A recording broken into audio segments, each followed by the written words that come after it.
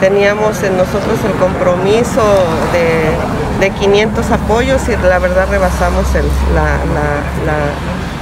rebasamos el número, fueron 578 apoyos que, que se realizaron el día de ayer pruebas para, para los anteojos. La verdad que muy contenta y muy agradecida con, con toda la gente que acudió el día de ayer al, al, DIF municipal. Sí, la verdad que sí, esperábamos nosotros pues los que a completar los 500 era la meta que teníamos y la verdad que nos fue muy bien. Fueron, te, repito, 578 apoyos que el día de ayer fueron, fueron otorgados por el DIF estatal y pues, o sea, contenta y muy agradecida con la ciudadanía que se acercó al DIF, al DIF municipal.